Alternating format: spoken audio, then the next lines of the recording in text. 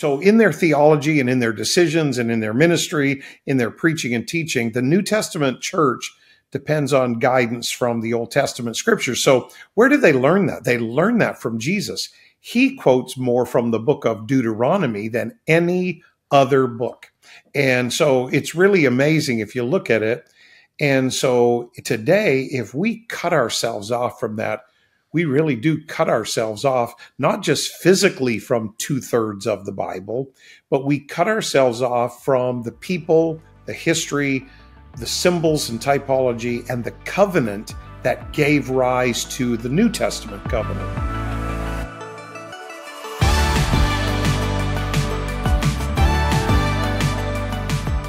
Welcome, everyone. Today, we are so very blessed to have Raymond Woodward back on the podcast. He is the superintendent of Canada District and is the teaching pastor of CCC in Fredericton, New Brunswick. In this episode, he talks to us about the importance of the Old Testament and why it is so necessary to study and teach from it. Well, welcome to the podcast. Thank you for joining us, Brother Woodward. It's my honor to be here, Pastor Greg. So thankful for you and, and grateful for this opportunity to talk. We're excited to have you back on. Uh, we were just with you uh, a couple months ago. Well, it's more than a couple months ago now, but uh, the year kind of gets away from you, especially does, uh, camp season for you guys over there in America. Yep. But uh, it, it, was so good to see you earlier this year. I think it was in, I believe it was in May uh, when you were on the Gold Coast.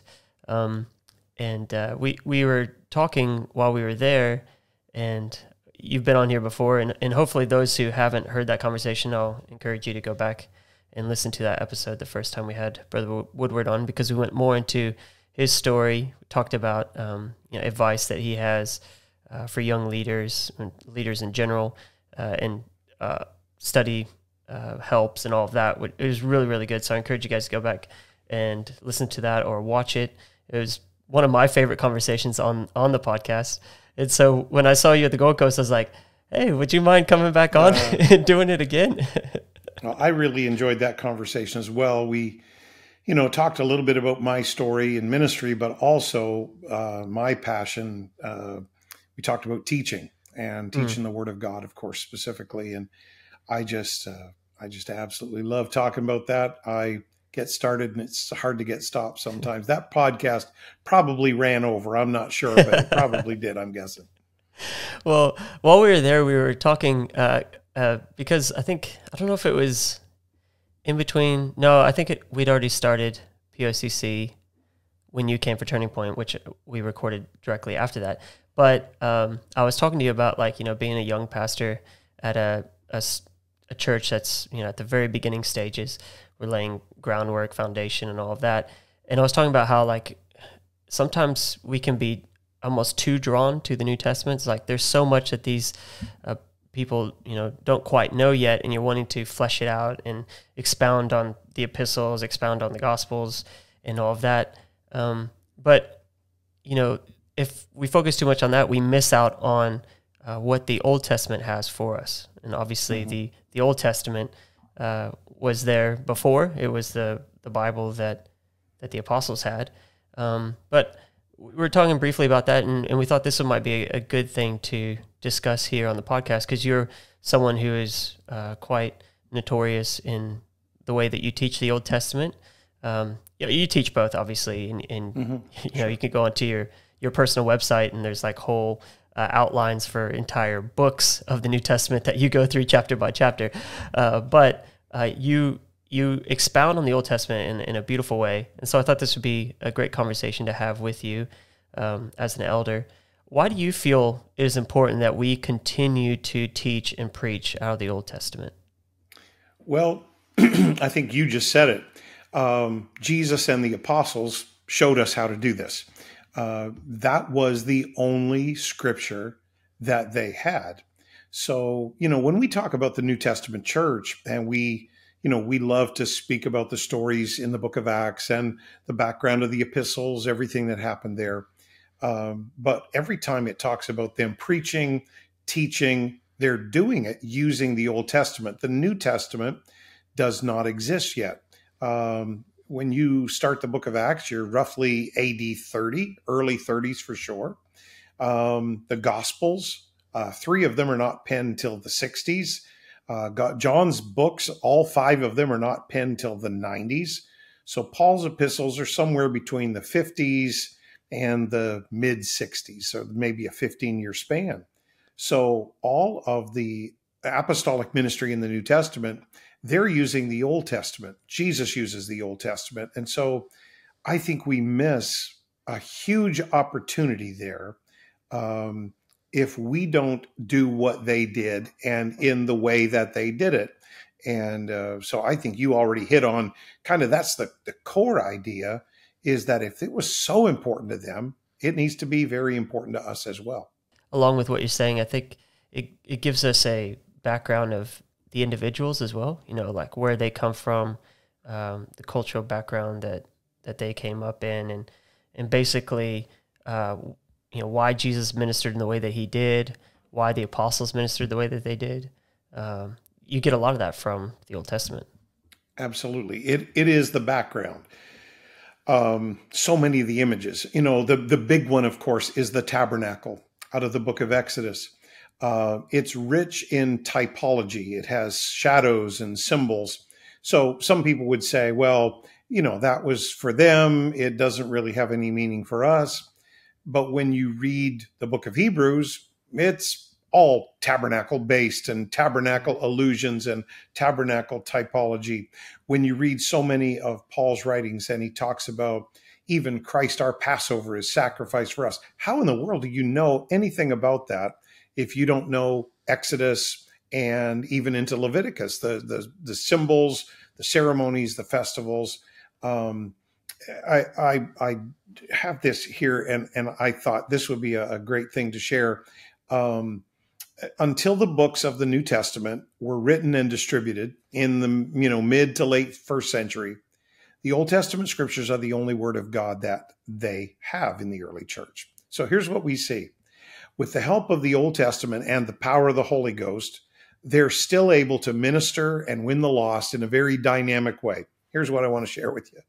Peter quoted Joel at Pentecost to explain the baptism of the Holy Ghost. In that same message, he quotes Psalms to prove the resurrection of Jesus Christ. Um, in his defense before the Jewish council, this is Stephen's sermon. It's the longest sermon in the book of Acts. He opens with Genesis, he closes with Isaiah, and in the middle, he refers to Exodus, Deuteronomy, and Amos. Then you have Philip. He teaches the Ethiopian eunuch about baptism in Jesus' name using only the writings of Isaiah. And then James, he concludes the Jerusalem Church Council by quoting Amos. Paul does this all through his writings. Uh, he even uses like an Old Testament verse about oxen to teach the churches to support their spiritual leaders. Don't muzzle the ox that treads out the corn. Um, so, in their theology and in their decisions and in their ministry, in their preaching and teaching, the New Testament church depends on guidance from the Old Testament scriptures. So, where did they learn that? They learned that from Jesus. He quotes more from the book of Deuteronomy than any other book. And so, it's really amazing if you look at it. And so, today, if we cut ourselves off from that, we really do cut ourselves off, not just physically from two thirds of the Bible, but we cut ourselves off from the people, the history, the symbols and typology and the covenant that gave rise to the New Testament covenant. And so we really don't get to understand fully the Word of God if we lose all of the cultural background, all the historical background, all the theological background that the early church had access to. Yeah, that's so good. Uh, it, while we were talking about this uh, in, in on the Gold Coast, you mm-hmm. mentioned that you know it's become a bit popular not to teach from the Old Testament. That there seems to be um, a bit of a rise amongst uh, larger church pastors or different mm-hmm. theologians who are saying, you know, maybe we don't need to teach so much out of the Old Testament. Is there any sort of validity to their position? I would say uh, number one, I hope we never get there uh, yeah. because we're we're trying to be an apostolic church, which means we're going to do it like the apostles did. You know, we're, we're, we're using a technology right now that the apostles didn't have. So we have to qualify that. We're not going to, we're going to do it with electricity and internet and air travel. They didn't have that.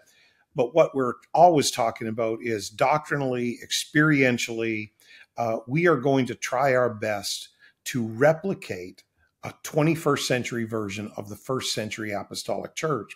So, what I see here in North America, and there are some larger churches that are, are kind of doing this. Um, they're they're basically making statements like this. You know, we're um, in the New Testament covenant. We're in the New Covenant. Uh, for us, the Scripture needs to start at Matthew one verse one, and uh, you know we we basically start there, and they'll they have to allude to the Old Testament somewhere. So they'll say, so, you know, the stories are good and they have good moral lessons, but we're New Testament covenant people.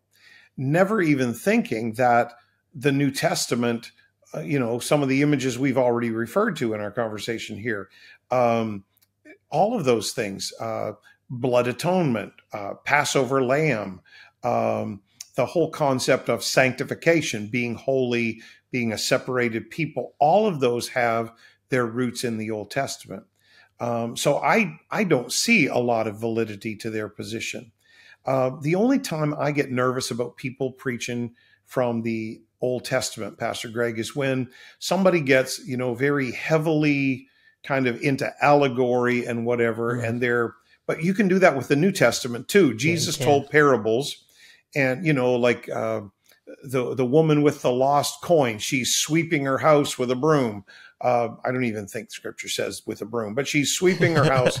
And and so that makes her a witch obviously because she has a broom. You know you can take anything and try to make some weird point out of it. So sometimes people get into the stories of the old testament and they pull a, a you know a detail out that you know you can take a principle and you can even make an application. I'm good with that. Um, a funny one that that actually is quite common is is uh, you know David uh, goes down to the brook. He's getting ready to go out to battle with Goliath. He chooses five smooth stones. Well, I've heard all kinds of sermons on that. I've heard that Goliath had four brothers, so he's thinking he's going to take them all out. I've heard that represents the fivefold ministry, uh, all kinds of stuff. For me, I draw a different application in the Old Testament the penalty for blasphemy, which Goliath has done every day for 40 days. The penalty for blaspheming is death by stoning. I think David just said, if nobody else is going to handle this guy, I'm going to handle this guy. So that's my application, but I don't know. So I need to be careful if I'm teaching from the Old Testament to make application and say its application in some way. Don't act like I've got some special revelation from God that I know what, you know, all these little intricate, trivial details mean, because really we don't. Um, and I that's the only time I get nervous, but I've heard guys do that in the New Testament, and that makes me just as nervous. So if there's any validity to this position of being careful with the Old Testament, uh, I'm going to agree with them on principle. But that's not what I'm hearing. I'm hearing the Old Testament doesn't apply to us. The Old Testament is passe. Uh, we're New Testament. Start in Matthew and go in the New Testament and only refer to the Old Testament like we would refer to Shakespeare. It's beautiful and poetic and it's nice stories. Um, really, there's a couple of significant pastors in the US that are making statements like this. Um, don't anchor your faith on the fact that uh, Jonah and the whale was a true story. Don't anchor your faith on the fact that Noah and the ark was a true story. That's garbage theology. If if any of those are not true, we throw out the word of God. It's it's either all true because the Bible makes statements about itself like that. It's either true or it's not true. So I think we need to do due diligence. We need to look at cultural settings and symbolism and allegory because that's all in the Word of God. There's poetical books there, there's prophetical books there, there's allegory and symbols and all of that. But to actually take some of the major stories that Jesus himself referred to mm. as fact and say, mm, don't anchor your faith to that That's garbage theology. And so that's the danger that I see here in North America. Um, and, and strangely enough, these people are coming out of some significant denominations and they're just kind of kissing their past goodbye and they're just setting their their ship of their church adrift in my opinion and every time they do that what i think is what's the agenda and every single time pastor greg it's um, we want to allow something whether it's a lifestyle whether it's a doctrine, whether we want to go low on commitment to attract a crowd. Every single time I've come across any pastor of any background throwing out the Old Testament, they're always trying to discount the way we serve God today. Something's afoot, there's always an agenda. And so my radar goes sky high anytime I hear about somebody saying, ah, the Old Testament because as we've already discussed, the apostles and Jesus did not feel that way. Hmm. So, uh, I guess a, not a counterpoint, but uh, something I'd like to ask you mm-hmm. as as someone who is you know leading a a, a newer church. Um, sort of, I guess from from your perspective, how often should you be teaching from the New Testament compared to the Old Testament? So, because one of the thing, one of the issues that I might have when it comes to teaching on the Old Testament, we need to do that. Obviously, our mm-hmm. congregations need to know it. We've already established that. But um, if we focus so much on that, and you know, Jesus is hardly talked about on Sunday because we got stuck in a story uh, that didn't make its way back to Christ, you know, or mm-hmm. um, we get stuck uh, in the Old Testament a lot, and we don't talk so much about what was taught in the epistles and and so on and so forth. Uh, what I guess maybe not percentage wise, but uh, as from your perspective, what should the balance look like when it comes to That's teaching the Old question. Testament and the New Testament? Well, Jesus said, uh, John five thirty nine. He said, "Search the Scriptures, for in them you think you have eternal life." he's talking to the scribes and the Pharisees, and he's saying, you know, you know all these scriptures, you've memorized them, you think you have eternal life. But he says, and they are they which testify of me. So the whole point of the Old Testament is to head uh, to, I, I can't remember if it was Spurgeon or Moody, one of the old classic preachers. He said, I take a text and I head for the cross. I take a mm. text and I head for the cross. And the principle is the same. So I don't think of it in terms of a percentage uh, as far as how much. There's never been a sermon that I've ever preached that I know of where I didn't use the New Testament or head toward the New Testament. I did a, oh my goodness, it was like the Great Tribulation, a 14 part series, I think, on First Samuel. Well, First Samuel is about, in fact, I was, the, I played a trick on myself. I'm thinking, man, I want to do First Samuel because I want to teach about David. First Samuel, I get into it. It's all about Saul. David makes an appearance as a kid, as a soldier in the army, uh, Saul's assistant, Saul's captain, but it's all about Saul. I was so ready to kill Saul. I wanted to do it myself by the end of that series. But every time that we would teach, I'm teaching through the details. It was a very detailed series we didn't go verse by verse, but we sure went paragraph by paragraph through the book of First Samuel. It's 31 chapters or something. So, so it was a midweek series. It's not what I'm preaching to first time guests and visitors. It's Bible study. But even in Bible study, you're going to the New Testament every time. I've my, my goal long term personally, this is just personal, is uh, with our YouTube channel. I want to eventually have a series on every book of the New Testament and um, every major section of the Old Testament. But I have done book series. I've done uh, like Song of Solomon. It's all symbolism. But what's it symbolic of? The bride of Christ, uh, the wedding of the ages. Um, I've done Ecclesiastes. What's it about? The futility of life. You need to look beyond this life. I've done Proverbs. What's that about? Jesus God is the source of wisdom. So every time I teach from the Old Testament, it's going to head toward the New Testament. Now, that being said, to circle back to your very good question, I, I think you should really kind of look at it as, you know, the Old Testament is two thirds of the Bible, the New Testament is one third, but we are New Testament people. So I think you should be in the New Testament, in the texts, in the epistles, in the gospels. I think you should be in there at least half the time, if not more. Um, and and again, there are exceptions. If you're doing a series on the Book of Proverbs, you're not going to be taking your text from there.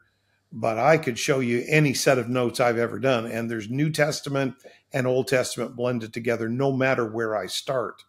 Um, and and so I think that's a really good question and a really important point. Um, you know, you could even fairly say, uh, flip it. The Old Testament is two thirds of the, the uh, Bible, but a lot of that's the prophetic books. I'm lost most of the time in the prophetic books. So so I'm going to take principles and paragraphs and stories. I don't care. I'm going to be careful here but really, let's just say it like I was going to say it. I don't care what happened to Edom and Nineveh. Uh, that's hundreds of years ago. Who cares? I care about the principles. I care about uh, the parallel that Jonah goes to preach uh, to Nineveh and the parallel to Jesus' ministry. Why does Jesus quote uh, Jonah? Because three days in the belly of the great fish, three days in the heart of the earth, that's where I'm heading. I don't care what happened in Nineveh. It's it's a historical fact. So, you know, I, I think you could even flip it. The Old Testament's two thirds of the Bible, but we're New Testament people. So let's say even two thirds in the New Testament and one third in the Old. For me, I'm probably about half and half. If I think back to the last um, four messages that I've done at CCC, there's two in the Old and two in the New. Um, and uh, it's just about half and half for me. But that doesn't mean that I'm in the Old Testament for the whole message. It's always coming to the new. Yeah, that's such a good point. That you no matter what you're teaching, and this is something that I learned at Bible school, is no matter what you're teaching, no matter where you're coming from, you want to somehow get to Jesus at some point. You know, absolutely. You're a Christian, and, and exactly. Yeah, well, he's our he's salvation and so on. Exactly. I mean, he said that. Search the scriptures, they testify of me. If you can't find Jesus in that story, don't preach it. Mm. It's that's plain and simple.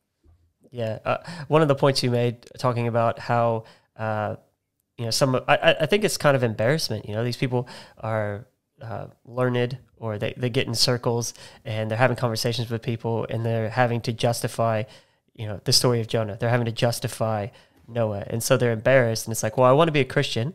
I know it's true. I know I know God's real. I know uh, Jesus came to save. Uh, but I don't want to have to have these conversations. You know what I mean? And always you, that's what it and is. that and as you said, you you can't take one without the other, right? No. Jesus referred to these people as if they were exactly. real. So did Paul, uh, and we can't yeah. just pretend like they didn't exist.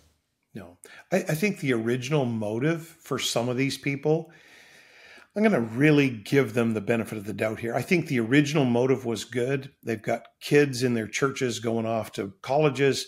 They're getting lambasted on every side and and and and attacked, and their their theology and the Bible's being attacked. Um, but to me, it's exactly the wrong approach to now say, okay, we're going to make the church more like your university. We're not going to talk about those stories. Uh, we're going to say they could be myth, they could be fables, they could be uh, just allegory.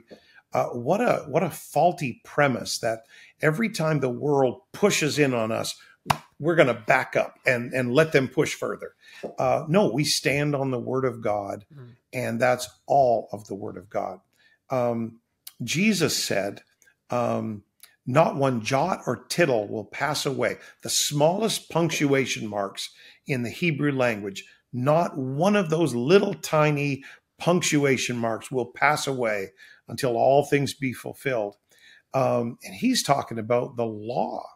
Uh, how much more all the prophetic books and the prophecies and and the the we call them the poetical books, uh, but when you talk about the book of Psalms, the largest book in the Bible, of course, um, that is a worship book.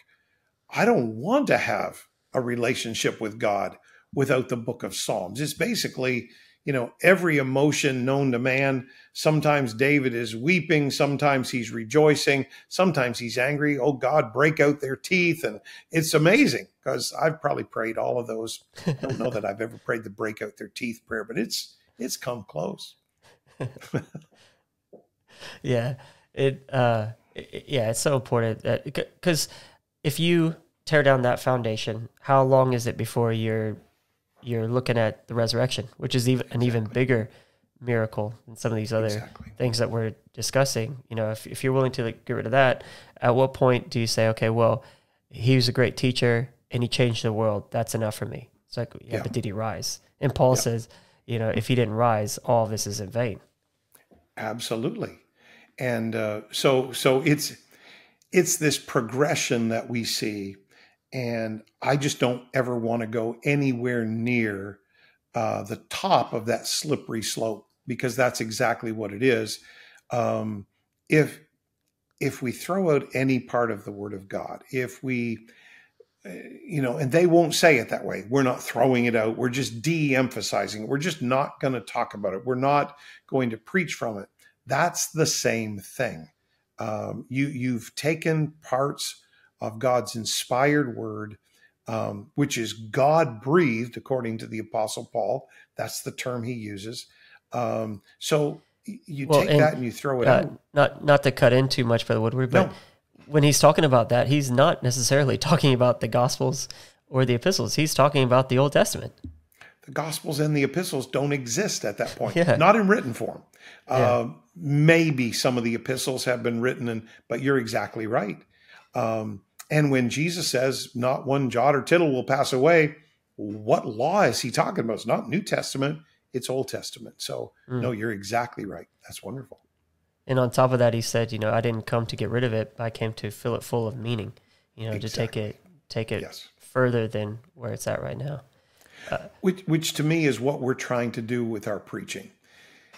And so it's, it's not a moot point, but it's a minor point when we think about uh, if if our ministry focus is right, and if our desire is to get people to the new birth experience, uh, experienced by the apostles and the early church, to get to the doctrines and the understanding of theology that they had, if that's our goal, that's going to bleed through in our preaching no matter where we start, no matter what text we take. So I, I would say it's not a moot point, but it's a little bit of a minor point to me. I don't even really consider it uh, how much, you know, and I'm not trying to uh, shoot down your question because your question's a, a good question, but I don't really even think about now how much am I preaching from the Old Testament this year? How much for the New Testament? The only time I would think about that is when I do like a long series like that First hmm. Samuel one like the the three poetical books that I taught through, and I still want to do the book of Job. I've just never taught through the book of Job. I want to do it, but I want to do it in a way that people don't like head for the overpasses and the bridges to jump off after I teach. Um, so I've got to kind of wrestle through the book of Job myself. But I taught uh, Song of Solomon one year. I think it was the beginning of a year. I did Proverbs one year, and I did Ecclesiastes one year. So even doing that I didn't overdose on those. Um, so I think somewhere psychologically, subconsciously, I'm always thinking, got to get the gospel in here, uh, got to get you know New Testament principles uh, principles in here. But that's the whole point of our conversation today. Is um, the principles are the same in so many ways. The principle of a separated people unto the Lord, the principle of prayer and worship, the principle of the oneness of God. That's strong Old Testament, strong New Testament. Um, the new birth, we see it in the tabernacle. We see it in the uh, the death, the burial, and the resurrection of a seed. We see it in physical birth. We see it uh, all through the Old Testament, and then we come to the New Testament. So, so really, if if my balance is right, I think my preaching balance will be right but sometimes in this generation, and uh, you're younger than I am, your peers are younger than mine. Sometimes in this generation, I do think it's good to ask a question like you asked, what kind of percentages? Because I think with all the pressures we see in some of these other churches, if we're not careful, that can infect us. And we can say, well, maybe I should only be preaching from the New Testament, and maybe I should only reference the Old Testament as a storybook and whatever. Um, I, I, think that's faulty understanding. So I think the question uh, that you brought up is is well placed. Um, year, years ago, there was an old Bible teacher, a lady in California. Uh, I've got some of her books, Henrietta Mears, and and she said this. This is not original uh, with me. Um, it, I think this is so cool. She said, "The new, talking about New Testament, Old Testament, the new is in the old contained, the old is in the new explained." The new is in the old concealed. The old is in the new revealed. The new is in the old portrayed. The old is in the new displayed. So they work together. You take either side of that out, and you don't have the New Testament is not as effective without the underpinnings of the Old Testament because you lose many of Jesus' allusions so much of his teaching, and the same for all of the apostles. And people, uh, people have tried it. Um, you know, uh, your birthplace is America. Thomas Jefferson, uh, he was a child of the Enlightenment, so they actually call this the Jefferson Bible. It exists in the archives. He went to work on the Bible with a razor and glue and clipped out all the miracles because he didn't believe it. Um, he took six copies of the New Testament and he starts, you know, going with the razor blade. And by the time he got done, there was very little left because you subtract the miracles, you lose so much of the Gospels. Well, it's the same principle here. You subtract the Old Testament and you subtract all the allusions back to the tabernacle and the allusions back to Jonah and the allusions back to Noah and the allusions back to Joseph. And what do you have left? you've hollowed out the New Testament in a misguided attempt to emphasize the New Testament. So so it's it's really not a it, it's not a logical argument that they're making to me. Mm. Well, you've already pointed out a number of reasons why we should study and teach the Old Testament. Did you want to um, put a final point on a few more uh, before we wrap up this conversation? Give some ministers who may be listening or Bible teachers uh, or Sunday school teachers, give them uh, mm-hmm. A, a, a, fire to teach the Old Testament, to preach the Old Testament, and not just spend all of their time, as we've been talking about in okay. the Gospels and Epistles. Gotcha. Well, if you look at, um, you know, for example, the first five books of the Bible, let's let's do that. Um, I, I Genesis is obviously the book of beginnings. So, you know, most of the major doctrines of the whole Bible are introduced in seed form in the book of Genesis. Anytime you teach in the book of Genesis, you're going to come up with, you know, the creation, the fall, the entrance of sin, but also God's promise of redemption. I will put enmity between your you and the woman, and uh, your seed, and and uh, the, you and the the the woman. He's talking to the serpent between your seed, her seed. So you've got redemption uh, in the very first three chapters of the Bible. So anytime you look at, at, Genesis, Joseph's story takes up a lot of real estate in Genesis. Um, uh, there's so many things in there. Um, one of my favorites is um, Pharaoh. Uh, we know he's betrayed by his brethren. He's sold for silver. He's such a beautiful type of Jesus. But then Pharaoh uh, exalts him to the throne and gives him a name, a new name, Zaphenath Paneah. The early church father Jerome said that means savior of the world. So, literally, this perfect picture. Uh, the first time we see Joseph, he's betrayed, he's sold, he's going down. The next time we see him, he's exalted to a throne. Uh, if you want to buy grain, every knee has to bow before him. He's given a name that means Savior of the world you can teach this beautiful picture of Jesus from the book of Genesis. Plus, you get all the seed thoughts for every major doctrine in the Word of God. Then you go to the book of Exodus. That's where the Passover comes from. That's where we have a beautiful picture of blood atonement. That's where we end up with the tabernacle. I did a whole series on the tabernacle. The tabernacle is, you know, people talk about praying through the tabernacle. So the tabernacle is a beautiful picture of prayer. It's a wonderful picture of salvation. It's also a wonderful picture of uh, you and me, uh, that we are three parts. The tabernacle was three parts the outer court, the tabernacle, the, the, the holy place, the Holy of Holies. Well, we're body, soul, and spirit. The tabernacle is this wonderful picture of you and me. The tabernacle is a beautiful, breathtaking picture of Jesus. Um, what a what a, a loss if we don't sometimes look back to the beautiful symbolism and typology of the tabernacle. Uh, uh, Leviticus, you've got the law. Now that's a tedious book. I get it but you've got so many beautiful things. So what I really try to do in those books is I read through, I read what others have said, and then I try to pull, and I think this is important to your question. I try to pull principles. Uh, I try to to kind of amalgamate what's going on here with the law of the leper, really uh, well, leprosy is a type of sin. Leprosy, you lose feeling, you lose sensitivity. That's what sin does to you. But there's all kinds of other things like um, I've taught about it. Um, you know, there were no lepers healed in Israel in the Old Testament.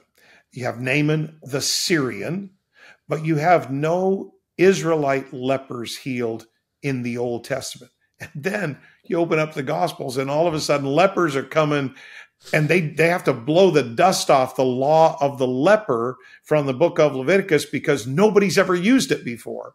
And that's what a symbol of the Messiah. So in every book you can you can do this. Uh, Numbers, the wilderness wanderings. Uh, what a beautiful picture that even when we mess up, God was faithful to them all the way through the wilderness, even when they rebelled. Uh, you get in the wilderness, um, and you've got uh, the brazen serpent, powerful type of the cross. Then you get to Deuteronomy, that's the second law. Jesus talks about that book more than any other book. Uh, Moses reviews the law, but he talks about the promised land and he talks about his successor, Joshua. Again, you've got um, you know, Jesus is our Moses. Jesus is our Joshua. Jesus is the fulfillment of all of that law. Jesus is the way we get into the promised land, which for us is not an earthly country, it's a heavenly country. And so, you know, that's the first five books of the Bible. You can teach almost any subject, including things like our disciplines, separation of life, all of those principles. And that's just the first five books. We haven't got into David. He's major real estate in the Old Testament. Uh, we haven't got into any of the prophets. We haven't got into the beautiful, powerful, worshipful book of Psalms. My contention is you need the Old Testament because it's it's beautiful and powerful in the way it unfolds this tapestry. And I would say one more thing from a preaching or teaching perspective. I very seldom, this is just a personal preference. I'm a teacher. Um, I very seldom start with a text of scripture in my preaching or teaching because I want to set the stage for that. So I'll tell a story. I'll I'll tell the story that's going on in the scripture and I'll set it all up and I'll make it as interesting and and and I'll try to pull their attention in. I want them to feel like, my goodness, that could have happened yesterday but it didn't. It happened two or three thousand years ago, and and I want to tell it, and then I hook them with a verse, my text, and then I go on. By the time I get to the end of a message, Pastor Greg, there's going to be tons of scripture because I love just nailing things down with scripture. But I don't usually start with scripture um, because I want to intrigue them so that by the time the scripture hits their heart, the soil's ready to receive it and it's like, oh, wow, yeah, that applies to me. So that's kind of a departure until we get here. I think the Old Testament does that for us as far as God's word. It seeds the clouds for a rain. It it seeds the ground for a harvest. the Old Testament, those stories, what happened to David and Moses and Joseph and all of those, uh, Isaiah, all of the prophets and the priests and the kings and the people, that seeds the ground. It opens our heart because they were people just like us. I, I read one statement and I've, I've said it myself too. If you took one word and you wrote it over the Old Testament, it would probably have to be a word like failure. No matter what they did, no matter how many sacrifices, no matter how much blood was shed in the tabernacle, it was a failure. You know, you you get to the last verse of the book of Malachi and, and God saying, Lest I come and smite the earth with a curse. They're still in problems. So you can look at that and say, well, we can throw that out. It was a failure. I've failed too many times in my personal life. The Old Testament encourages me that even though Israel messed up over and over again, God still showed mercy and he still showed them um, love and, and, forgiveness. And uh, grace is not just a New Testament concept. Noah found grace in the eyes of the Lord. So, uh, again, I think that's what the Old Testament is for. It prepares us. My friend uh, Morel Cornwell, probably the greatest home Bible study teacher on the planet. He's taught thousands, literally thousands of them. And he actually said to me, he said, I won't start people in the New Testament. They're not ready. He said, I, I need to take them through the Old Testament and prepare their hearts. And uh, and I, I really feel like that's the purpose of the Old Testament. At it's the macro story. You know, me preaching a sermon and working my way to a text is the microcosm. But God's big plan is here's the Old Testament, here's the stories, here's the prophets, here's what I've already done and here's what it was pointing to, and we head for the cross. Yeah, I, I think uh, in listening to all of that, which which was amazing, I think sometimes some of these people who don't have much understanding of the Old Testament, because if you grew up in the Apostolic Church, or if you've been in the in, in an Apostolic Church for any number of time, yes. you're very well versed in the Old Testament. We spend yes, time there, right? And I think some of these um, other and I don't want to go into critiquing specific ones, but other denominations, if they don't spend much time in it, then there isn't that foundation there, you know, and and there isn't that uh, appreciation, and sometimes that could be, you know, where you fall into um, believing that God is a Trinity, where you fall into not understanding the necessity of the new birth, because it's like I can point to reasons in the Old Testament why the new birth is necessary. It's not something we're reading into the text; it's something that is plainly there but it's because of the study and the effort put into understanding the Old Testament and applying that to the New. Yes. You can see this is why you need to be born again of the water Absolutely. and of the Spirit. You know, absolutely. Um, I, I I think that it's it's kind of like launching out in a boat on a a wide open stormy sea and you don't take an anchor. Uh, the Old Testament is an anchor. Um, if Jesus used it as an anchor for his stories and his teaching, if the apostles used it for an anchor for their stories and their teaching. Even the book of Revelation, when we wind up the New Testament canon of Scripture with John's great vision, my goodness, there are so many allusions back to the Old Testament. Um, I've never taught the book of Revelation without alluding to Daniel, for example, because there's so many pieces of the book of Revelation that just they lose their relevance unless you understand that yes, John's getting a word from God, a vision from God's throne, but it's anchored in something. It's not just, you know, kind of random adrift. It's anchored to what God spoke to Daniel. It's anchored to some of the things God spoke to Zechariah and Isaiah. And, and so it's one whole. It's not a bunch of random parts. And we're going to choose the parts that kind of you know, after Jesus arrived. No, it's it's one whole. It's the word of God and the old points to the new and the new points back to the old. They point at each other. You take one out, you've got the New Testament pointing at nothing or you've got mm. the Old Testament pointing at nothing. They point to each other. Wow, that's so good. Well, this this has been a great conversation, and I know with your uh, wealth of knowledge, we could have spent a lot more time on this subject. But I hope this has really just been an encouragement to those who, uh, you know, may be struggling or uh, maybe in conversations where it's like, well, I don't really have an answer why why we approach it from that perspective. Mm-hmm. Um, uh, hopefully, this is a help, and hopefully, this also inspires. I know it's inspired me to spend a bit more time uh, in the Old Testament when it comes to teaching it even to new saints, because as it's been reiterated throughout the throughout the conversation, that yeah, they might be new, but what will prepare them for uh, the teaching of the New Testament are those stories, are is that foundation that is found in the Old Testament. And I just want to thank you so much for your time today, Brother Woodward, and and, and for your your decades of study that that has culminated into being able to have a conversation like this. Uh, was there any final thoughts? I'd like to give the guests the the final word when it comes to uh, the end of each episode. Is, is there any final thoughts that, that you would like to leave with the audience here today? And again, thanks for your time. Well, thank you. I, I am really grateful for the opportunity to uh, to talk with you about this because I, I, really think it's important. And for anybody that's listening or, or watching uh, today, I, I, would say, you know, apply yourself to the Word of God. Um, don't shy away from the difficult parts. There's there's beauty there. Um, I, uh, you know, you mentioned new new people, Pastor Greg, and I had a conversation this week as we're recording this. It would have been last night for me at our midweek Bible study. A brand new couple.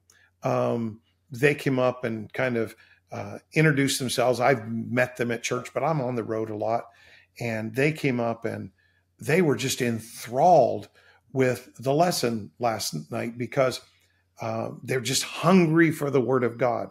The lesson last night was they that sow in tears shall reap in joy. It was totally from the book of Psalms.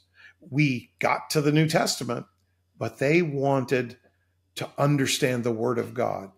They don't, we, we, sometimes we fight with straw men. We're feeling the pressure of these mega churches or these denominational pastors that are saying, we think this would be a wiser approach that's not what a new convert feels. A new convert, just they're hungry to know the word of God. They're not there for the most part. Every once in a while, you get somebody that's been polluted by other background. They're there to know and learn and love the word of God. And we lead them best when we know and love and learn every part of the word of God. One of the things I'm personally doing this year um, I do Bible reading programs, you know, but I'm such a type A perfectionist that I take great satisfaction in checking off that little box every day. I got my reading done. And every once in a while, I just have to stop and slow down.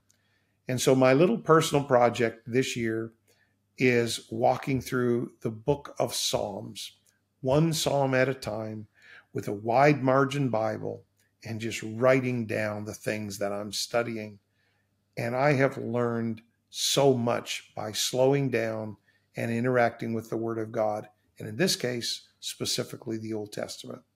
So if Paul talked about the whole counsel of the Word of God, and if Jesus taught from the Old Testament, and if they didn't make a distinction between the big sections of the Word of God, let's not either. Let's study the whole counsel of the Word of God. And I encourage everybody listening and watching today that you would just uh, fall in love with it all over again yourself. And let me close with this scripture. It's the writer of Psalm 119, not only the longest chapter in the Bible, but it's the chapter in which almost every verse is the Word of God talking about the Word of God. And whoever that author was, we don't know. But whoever he was, he uses all kinds of different words for the law. He talks about law and commandments and judgments and testimonies. He talks about precepts and statutes. He talks about all of that. And you would think that Psalm 119 would be a very heavy, tedious book because he's constantly talking about your law and your statutes and all of that. But here's the verse that I want to close with today in our conversation. This is Psalm 119 and verse 54. He says, Thy statutes have been my songs in the house of my pilgrimage. It's like a local orchestra taking like the traffic handbook for the city of Sydney and putting it to music. You'd think like that's boring. Well, that's what he's talking about. I'm taking the laws and the precepts and the statutes of God. And when I study them, they're so beautiful. They've become my songs in the house of my pilgrimage. That to me is the word of God. So um, I would love to pray for everybody today, if that's okay. And uh, I commend everybody here for being interested in a subject like this. And, and I really encourage you to get into uh, the old and the new and let them point at each other. And the beauty and the, the wonder of God's word just explodes in your spirit. So let's say a word of prayer. What a privilege to be here today. Lord Jesus, I thank you for every listener, every person that will watch this. I thank you for Pastor Greg and his heart to do this and to teach people your word. And I thank you for every teacher, every home Bible study teacher, every pastor that may listen to this congregation, to this conversation, and, and everybody that's in any congregation, anybody that's a saint in a local church. God, help us to fall in love with your word. We do that best when we just open it up and we let your spirit talk to us through the pages of your word. God, let the stories come alive. Let the symbols and the allegories and the types come alive in our spirit. God, we dedicate and we devote ourselves to loving your word, obeying your word, submitting to your word, and for many of us, preaching and teaching your word. Let it be done to give glory to your name and to always point everyone to your great plan of salvation and to your cross, which is the centerpiece of the Word and of all of human existence. We thank you for the privilege. We thank you for your Word. And we give you praise, Jesus. We ask it in your name. Amen.